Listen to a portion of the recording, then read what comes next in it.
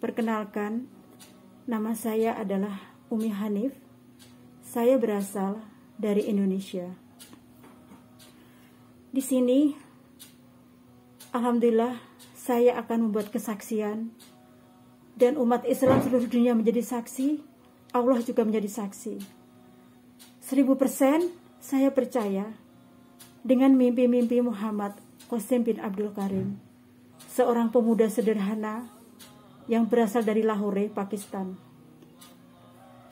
Saya percaya bahwa mimpi-mimpi beliau adalah benar dari Allah Subhanahu wa taala dan merupakan mubasiroh atau kabar gembira dari Allah untuk umat seluruh alam.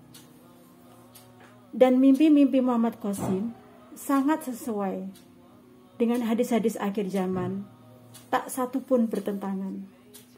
Bahkan mimpi-mimpi beliau Sayyid Muhammad Qasim bila dikaitkan dengan ilmu pengetahuan, ilmu sosiologi, ilmu sosial, ilmu politik, tak ada satupun yang bertentangan dan sangat beruntut.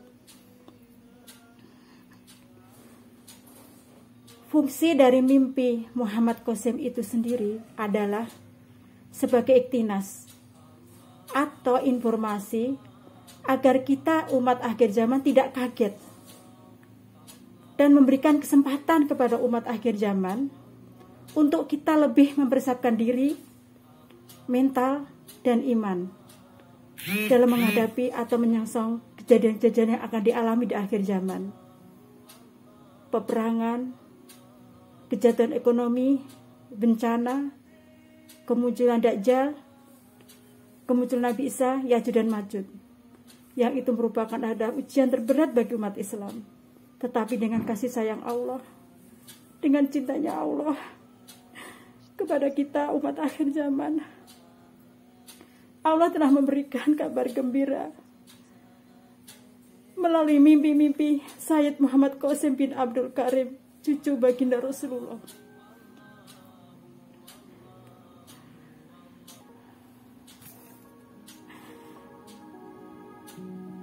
Kita sebagai umat akhir zaman harusnya sujud syukur kepada Allah Subhanahu wa taala